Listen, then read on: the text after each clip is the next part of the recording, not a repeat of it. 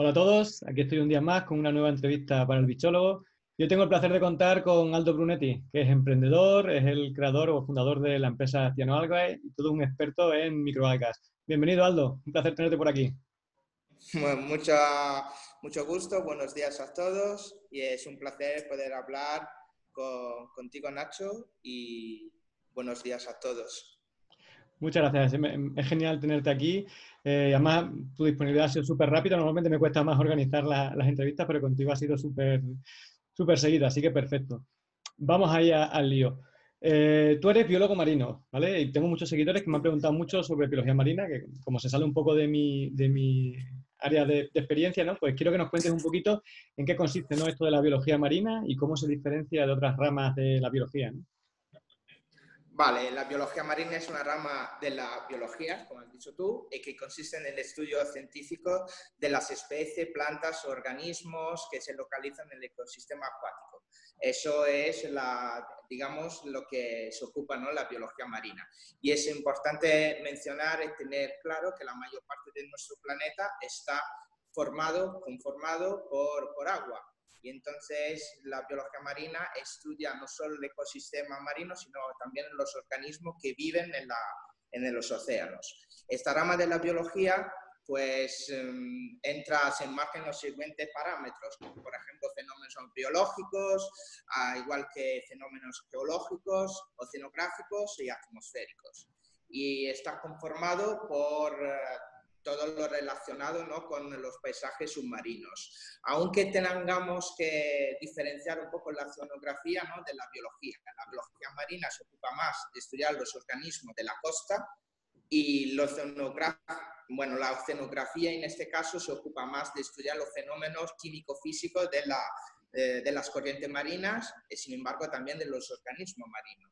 Y luego, pues la biología marina se diferencia de las demás ramas porque, bueno, mientras las demás ramas de la biología están enfocadas más en estudios moleculares bioquímicos, ¿no? sobre las especies o la investigación sobre posibles eh, curas sobre el cáncer, la biología marina, como he dicho anteriormente, se ocupa del estudio ¿no? de los organismos y del ecosistema acuático, el costero. Y, eso es, digamos, la, la biología marina. La verdad que una, una descripción muy amplia y muy completa, así muy bien resumida, muchas gracias. A mí siempre me ha encantado el mar y lo que pasa es que como soy de Extremadura, tierra de secano, pues me, dediqué, me decanté por la biología normal. Pero si no, si hubiese tenido más, seguramente le habría hecho un tiento a la, a la biología marina porque la verdad es que, me encanta. Eh, supongamos ahora que ya que la gente sabe más o menos lo que es la biología marina, dice, ostras, yo me quiero dedicar a esto. ¿Cuáles serían las principales salidas que tendrías? Aparte de ser emprendedor, como en tu caso, ¿no? Pero bueno, otras salidas que pudieran tener. Pues hay otra, hay muchas salidas mm, estudiando biología marina, que ahora mismo es una especialidad en España, a diferencia de Italia, que es una carrera aparte, la biología marina, y puede entrar en varios, hay varios campos laborales. Por ejemplo, el 90% de la gente entra como investigador, entonces se puede quedar tanto en organismos públicos como privados, eh, de la universidad también, y luego pues también en institutos relacionados con la biología marina o con la oceanografía, también en el servicio público, en el ministerio, sobre todo en, el organismo de biodiversidad, y luego como asesores también, y en, eh, de asesoramiento, de consultoría pueden entrar los, los, biólogos marinos, aparte de tener un trabajo ¿no? de, de, campo, de investigación en barcos oceanográficos o de buceo directamente, ¿no? Eh, yendo a recoger, recolectar muestras para determinadas empresas privadas, donde luego entran en juego también bioquímicos, biólogos moleculares para poder estudiar determinados ¿no? Eh, aspectos bioquímicos. Entonces, el biólogo marino en este caso tendría un trabajo de de campo. Y entonces, esos son más o menos las salidas ¿no? de, la, de los biólogos marinos. Muy interesante, la verdad es que, que entonces a mí me habría venido estupendo, porque yo soy muy de campo, así que yo soy todo lo que sea ir ahí a, y lo de bucear también me habría encantado. Llevo años para sacarme el curso de, de buceo y al final nunca lo he hecho. y bueno, cuenta, cuéntanos un poco qué es lo que te llevó a ti a, emprender, ¿no? Porque claro, tú has dicho que el 90% de la gente entra como, como, investigador, ¿no? ¿Qué es lo que te impulsa a ti a, salir de la investigación y a buscarte un poco tu camino por el mundo del emprendimiento? Sí, yo creo que cada vez es un mundo más competitivo, cada vez eh, resulta más complicado ¿no? hacerse un hueco dentro del sector de la biología y eso principalmente ha sido el motivo que me ha llevado a emprender, creando así una empresa enfocada no solo a la biología, sino a la investigación y a la innovación. Entonces, como no se encontraba, mm, digamos, un trabajo bien remunerado y a día de hoy era bastante complicado, pues entonces he pensado montar una empresa eh, de lo mío y poder, poder investigar para mí mismo, es decir, para mi empresa. Entonces, ¿quién será mejor pagado que yo mismo trabajando para mi empresa? Y entonces eso ha sido uno de los motivos que me ha llevado a emprender.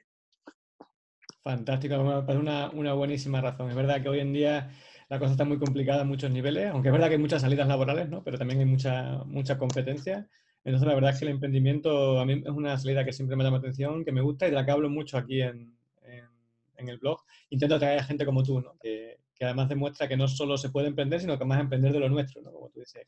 Sí, exactamente. Y bueno, ya que nos has comentado un poquito lo de, tu empresa, ¿no? Eh, Cianoalgae, cuéntanos qué es y qué haces exactamente en Cianoalgae. Bueno, Cianoalgae es una startup, ¿no? Nació con la idea de poder desarrollar nuevos productos a partir de microalgas.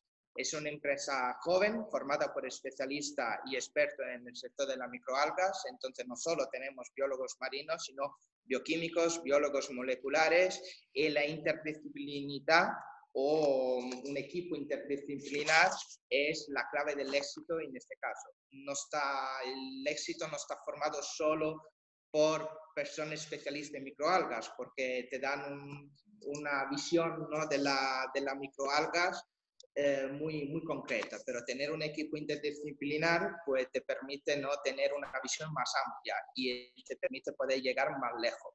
Y eso es lo que, que es Algarve. Muy interesante. Yo también soy súper fan de los equipos multidisciplinares.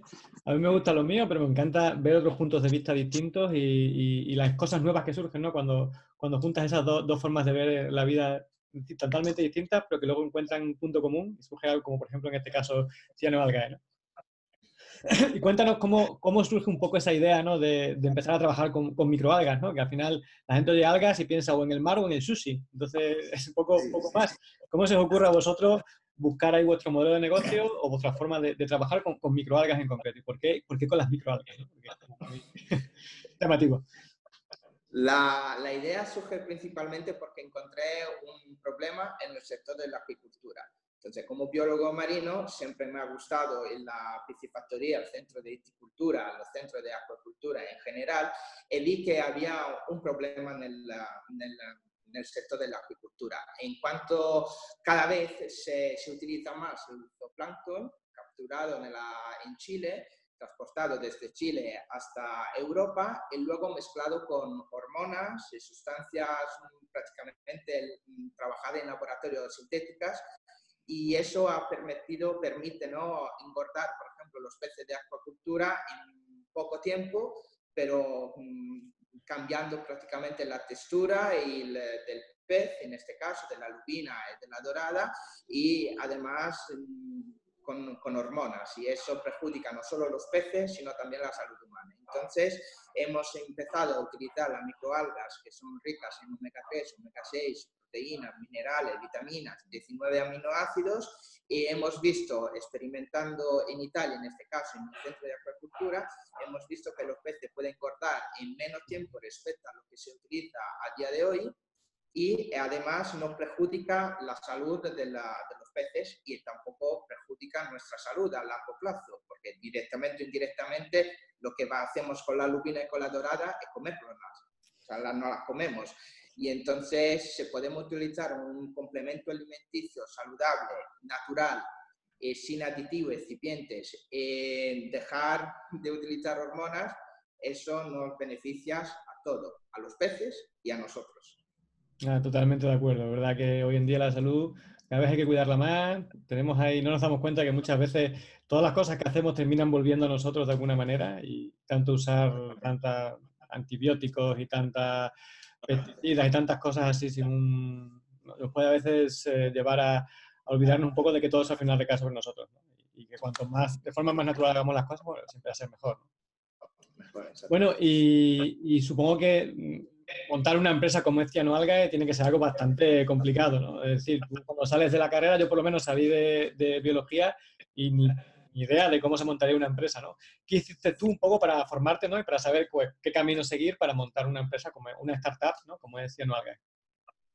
Pues llevo estudiando las microalgas muchos años hice un máster también, aparte de la carrera, en biología, el bloque de especialidad en biología marina. También hice un máster aquí en la Universidad Autónoma de Madrid en biodiversidad y luego estuve en varios congresos y cursos de formación otorgados algunos por el ITC, el Centro del Instituto Tecnológico de Canarias, especializado en eh, microalgas, también el BEA, que es el Banco Español de Algas, siempre de Las Palmas de Gran Canaria, y todos esos cursos me han llevado, me han permitido especializarme más en el sector de las microalgas. Y, y, eso es lo que, lo, que, lo que he hecho a día de hoy. Y en cuanto, y en cuanto a cómo montar una empresa, cómo desarrollar los planes de negocio y todas estas cosas, ¿cómo has ido aprendiendo? ¿A base de acierto error? ¿Has hecho también algún curso o algún tipo de formación, mentoría, asesoría, alguna cosa así? Pues para lo que lleva el proyecto, ¿no? la parte teórica, hasta llegar a, la realidad, cómo se monta una, una, empresa o un business plan, pues se lleva a través de muchísimo esfuerzo, paciencia y perseverancia. Eso digamos que son las tres, ¿no? La, las bases para poder desarrollar una, bueno, para desarrollarte dentro de una empresa, es desarrollar un business plan en condiciones. Los inicios son siempre difíciles, entonces porque te encuentras con muchos obstáculos, no solo de la administración, sino eh, también en parques tecnológicos, porque la microalga son un fenómeno nuevo que está en auge, entonces no todo el mundo está especializado o conoce este tipo de, de, de, sector. Y entonces muchas veces ni siquiera encuentras apoyo desde el punto de vista ¿no? de la, del parque, de los parques tecnológicos que hay en España. Y entonces tener un equipo válido, eh, especializado en determinados sectores de business plan, mentores que pueden poner la Comunidad de Madrid, eso nos ha ayudado en este caso a desarrollar un business plan en condiciones, especializado en este sector. ¿Nos podrías contar un poquito ese, ese viaje que has hecho desde, desde, la idea teórica, desde, que te diste cuenta que había un problema en el sector hasta que montaste eh, eh, Cianoalga? ¿Nos puedes contar un poquito, así muy resumidamente, ahí con unas pinceladas, pues, cuál fue el proceso ¿no? de, de, pasar de la idea a la, a la realidad? ¿no? O sea, que nos has contado que han influido mentores, que has participado por la Comunidad de Madrid, etcétera, etcétera. Cuéntanos muy resumido, si no, si no te quita mucho tiempo. Eh, los principales, bueno, o sea, lleva todo eso la parte teórica le hemos, bueno, la parte teórica está siempre muy bien tenerla, pero a la práctica, ¿cómo se, cómo se pone en papel? Se pone en papel a través de, de cursos que hemos podido hacer otorgado por la Comunidad de Madrid, porque nos han seleccionado como mejor empresa innovador en el sector de, de bueno, del, en el sector de la biología, entonces eso nos ha permitido poner por escrito prácticamente la idea. Entonces nosotros contamos la idea y la idea, los mentores que nos asignaron nos ayudaron a escribir prácticamente el business plan y poner en papel prácticamente todo lo que queremos hacer. Siempre gracias al nicho que encontré de, en, el, en, el, tema, en el sector de la agricultura, que luego lo hemos diversificado en otros sectores. Eso nos permite también ser muy dinámicos, no nos enfocamos solo en un sector, sino que nos podemos enfocar también al tema de cosmética, alimentación humana y también mm, estamos investigando algunas microalgas para el sector de la medicina. Entonces, una vez que encontramos un nicho, pues nos podemos diversificar perfectamente a otros, a otros sectores porque no solo la apicultura, los peces se pueden beneficiar de eso, sino también de nosotros mismos, como he dicho anteriormente. Entonces, esos complementos en el tema de la alimentación humana nos vienen muy, muy bien, porque cada vez se intenta comer mejor, se intenta comer sano, y entonces los complementos alimenticios con base en microalgas pues nos vienen muy bien para poder seguir unos parámetros saludables. Y, y luego en cosmética, porque hemos visto también que la microalga tiene un alto componente antioxidante. Entonces, y a través de algunos estudios hemos visto que los antioxidantes se absorben mejor por la piel que tomándolos como complemento alimenticio. Entonces, todo eso lo hemos trasladado al papel a través de la Comunidad de Madrid y nos ha ayudado a poder lanzar la empresa.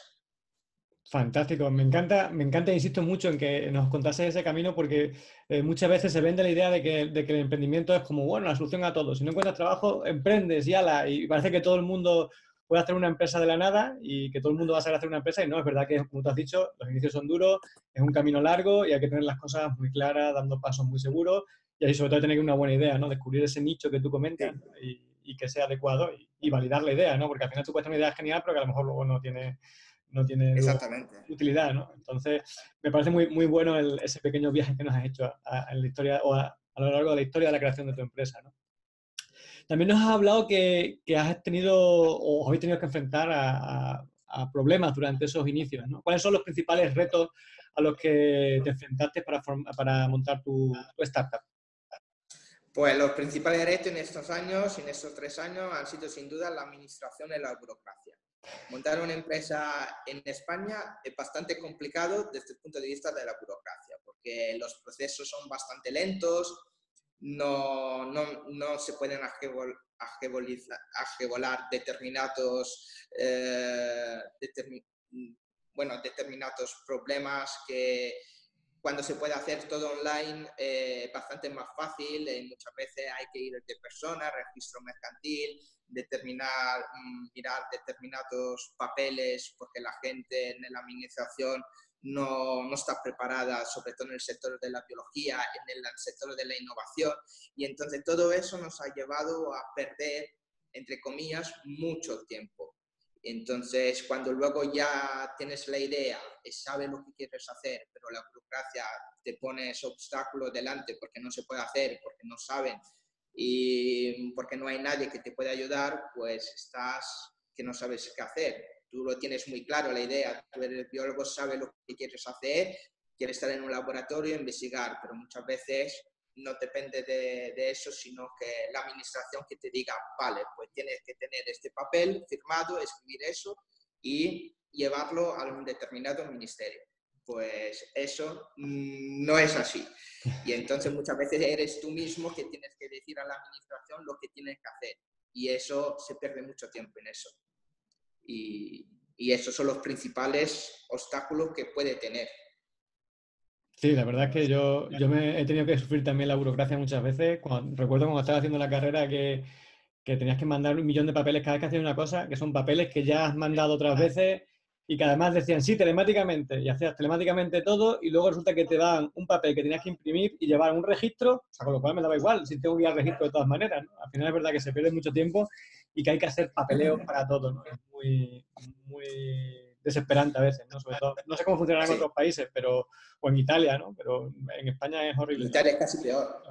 En Italia es casi peor porque la administración no funciona, ¿no? Funciona y entonces muchas veces cada, cada, cada sector de la administración te dice una cosa, vas el día siguiente y te dicen otra cosa. Entonces has perdido no solo un día, sino que has perdido tiempo de poder redactar una determinada memoria que cuando puedes mandar telemáticamente, como dices, tener una firma digital y no, tienes que ir de persona, luego hay un problema, pues se confunden muchas veces con el CIF, nos ha pasado aquí en España también, entonces vuelves a pagar otra vez lo mismo del registro mercantil, pero ha sido un error de ellos, se lava las manos y entonces el problema luego te lo comes tú. Entonces, claro, todo eso uh, lleva, pierdes mucho tiempo. Entonces, cuando ya luego llega el momento de poder emprender, de tener tu laboratorio, tu cepa de microalga, tu producción de microalga, pues ya te cuesta más, porque claro, toda esa tecnología o toda esa microalga, eh, hay muchas empresas en Europa, también fuera de Europa, entonces, dependiendo del país, puede ir más rápido o menos rápido. Entonces, no, no digo que es una lucha, pero cuando ya tienes la idea y tienes la capacidad de poderlo hacer, tienes problemas vas más lento por culpa de la administración, pues no es muy, muy agradable, ¿no? Es algo frustrante, desde luego. Otra cosa que me gustaría que, no, que, nos comentases y que seguro que también mucha gente se lo plantea ¿no? a la hora de, montar una empresa propia es cómo lograr la financiación necesaria ¿no? y, cómo conseguir sobre todo los primeros clientes. Porque al final eh, tú puedes tener una idea maravillosa, un, plan de negocio magnífico, pero si no tienes dinero o no tienes gente que te compre tus productos o tus servicios, no puedes hacer nada. ¿no? ¿Cómo solucionasteis vosotros ese, ese gran escollo que es para todo el mundo? O por lo menos que tenemos nosotros así en mente, los que no hemos emprendido todavía, eh, como uno de los principales problemas.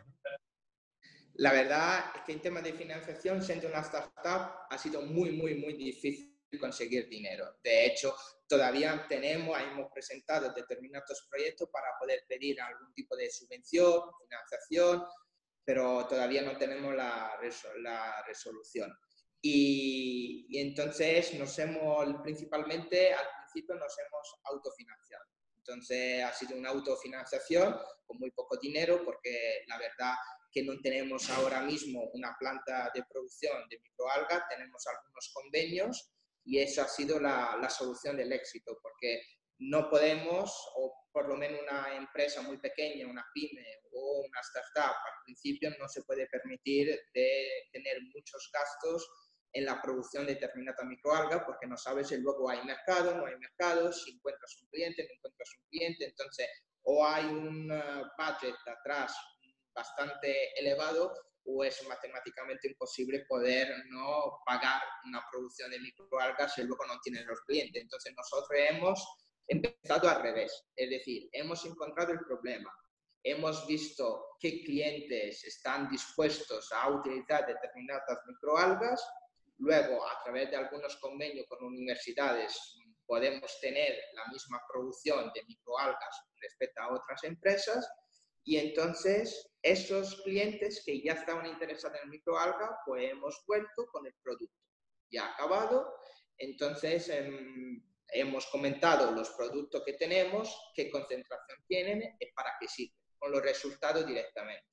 Y entonces, pues eso ha sido uno de, de, los éxitos, ¿no? Para tener los primeros clientes, que es siempre difícil tener un primer cliente o fidelizarlo al principio porque no te conoce.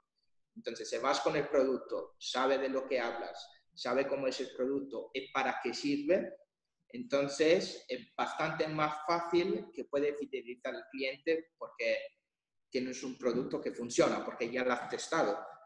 Y eso ha sido prácticamente, ¿no? han sido los primeros clientes.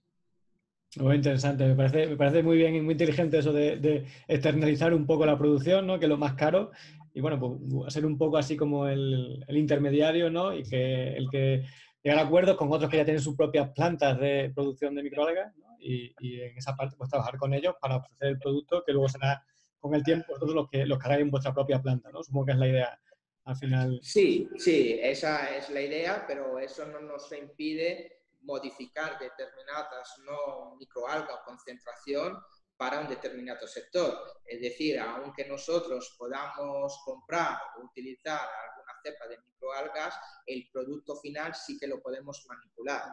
Entonces, dar un producto a una lubina no es lo mismo que dar un producto a unos invertebrados marinos, a unos mejillones o almejas. Entonces, la concentración eh, eh, cambia, pero no solo la concentración, sino que para la lubina, por ejemplo, la microalga están son liofilizadas o en pasta fresca, pero en los mejillones tenemos, por ejemplo, un mix de varias microalgas. Hemos visto cuáles aportan mayor concentración de proteína omega 3 y omega 6 y ahí hemos hecho un estudio y luego hemos hecho un mix con estas microalgas para poder alimentar los mejillones y almejas.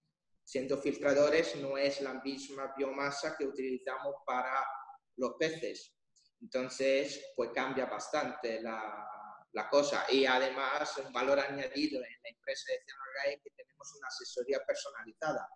O podemos asesorar directamente en las empresas, los laboratorios, cosa que otras empresas, siendo muy grandes, no pueden tener una asesoría personalizada. Nosotros, como somos muy pequeños, no, no viene también muy bien poder asesorar. El cliente se siente más familiarizado, se siente más eh, cuidado eh, con el producto que le estás dando. No le vende solo un producto, sino que le vende todo un servicio que hay atrás. Y eso sí que no lo podemos permitir porque somos pequeños.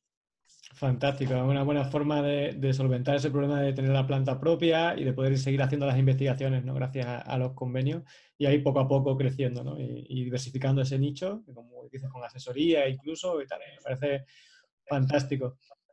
Bueno, nos has comentado ya un poquito, pues, historia, ¿no? Con emprendimiento, tu experiencia y me gustaría que, nos dices tu opinión sobre si crees que es una buena salida laboral para los biólogos que no saben encontrar su sitio, que no lo encuentran, aunque no no encuentran trabajo ¿no? en esta situación. Si crees que es buena idea que emprendan o que no, que por otra parte es mejor ser asalariado y quitarte el problema.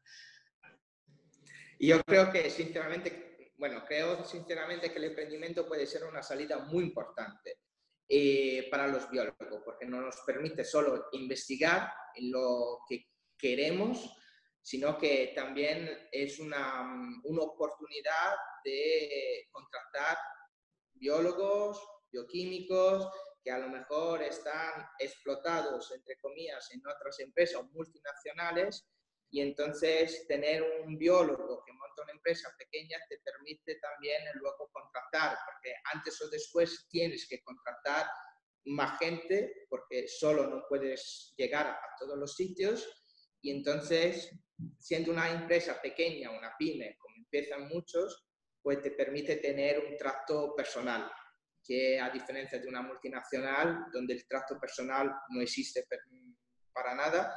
Y entonces eso yo soy siempre partidario que los biólogos o cualquier persona puede emprender. Tener una buena idea eh, siempre es, muy importante. Luego será el mundo laboral o serán otras empresas que te pondrán obstáculos que tendrás que afrontar o tendrás que superar y la idea puede ser luego a lo largo de los años, puede ser buena o puede ser mala, pero en un principio todas las ideas son geniales. Entonces, tanto del mundo de la biología como fuera del mundo de la biología. Y luego será el mundo, será la experiencia, será los emprendedores, serán las empresas, será también la tecnología como avanza, será serán muchos factores que te permitirán decidir, vale, cambio totalmente mi idea, dejo mi idea, voy a diversificar mi idea en otros sectores, uno va evolucionando porque, porque el mundo cambia, va evolucionando cada día y en la tecnología se ve, con solo mirando los ordenadores como estaban hace 10 años, como son ahora, pues han cambiado totalmente y eso cambia todo. Cambia también la cepa de microalga. Ahora mismo se utilizan dos cepas aprobadas por la Comunidad Europea para la alimentación humana, pero eso no quiere decir que de aquí a seis meses la Comisión de Bruselas dirá mm, ya se pueden utilizar otras cepas de microalga, que a día de hoy utilizamos en el mundo de la agricultura. Pero claro, cambiando eso, pues cambia muchísimo la visión de las empresas y cambia también la, cómo diversificar entonces yo soy partidario que todo el mundo puede emprender y es bastante complicado, pero si tienes una idea y tienes un equipo que, que te puede ayudar, pues adelante. Me parece muy buen, muy buen consejo. Además, es verdad que, creo que también es importante, como has dicho, eh, saber votar, ¿no? O saber eh, que tu idea a lo mejor debe cambiar y no estar enamorada de tu propio concepto, sino que, bueno, adaptarlo un poco a lo que va surgiendo, ¿no? Y a ir evolucionando conforme evoluciona el mercado, los clientes o la tecnología o lo que sea. Bueno, y por último, ya como suelo, suelo acabar todas las entrevistas, me encantaría que les dieses un consejo a todos los lectores, a todas las personas que están viendo esta entrevista, ¿no? Y que tienen una idea, un proyecto que quieren hacer realidad, pero no se atreven a dar el salto, ¿no? A montar su propia empresa. Yo digo siempre que a prescindir de que en este país no es tan fácil emprender, animo a todo el mundo a emprender, porque cada idea puede ser brillante ¿no? y válida. Y luego será, como he dicho anteriormente, el mundo laboral que te permite, que te pondrán trabas, ¿no? Y, y entonces tendrás que cambiar la idea o tendrás que ampliar la idea. Y entonces lo principal no es tener o sea, tener una idea firme es muy importante, pero también el poder ampliar esta idea es muy importante en el día de hoy en, en emprendimiento. Si uno quiere abrir un bar, pues quiere abrir un bar de aquí a, dentro de 20 años, podrán, existirán gente que quiera abrir un bar y me parece fenomenal.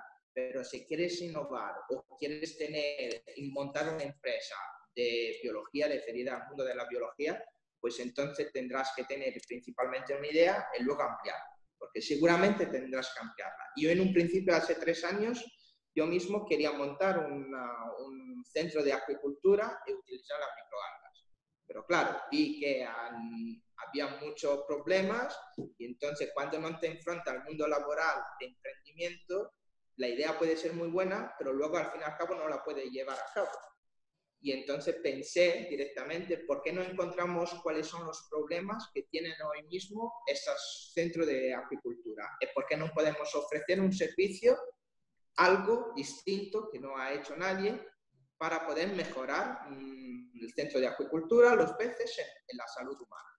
Y entonces pensamos que esa era la salida. Entonces animo a todo el mundo que, que bueno, que se anime ¿no? a, a emprender y sobre todo digo siempre que hay que tener empatía, esfuerzo, pasión e iniciativa para emprender. Eso es el, el éxito o la base para poder eh, eh, emprender. Entonces, el esfuerzo lo tienes que tener.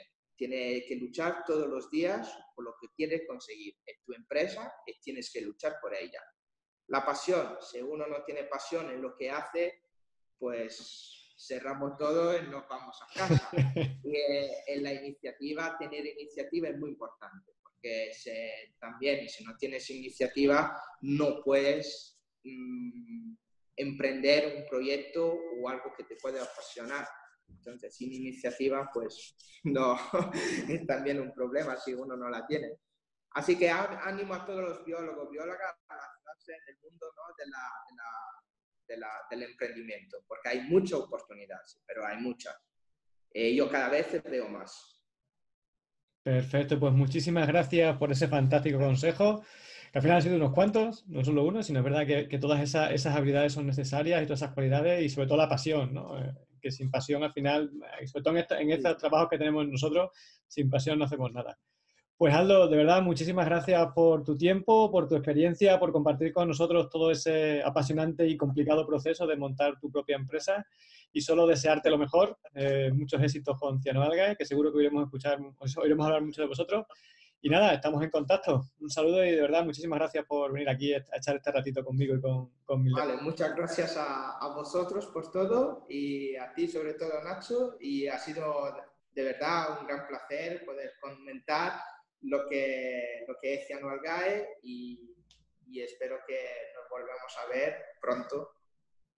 Estoy seguro. Un saludo. Un saludo, muchas gracias. Adiós.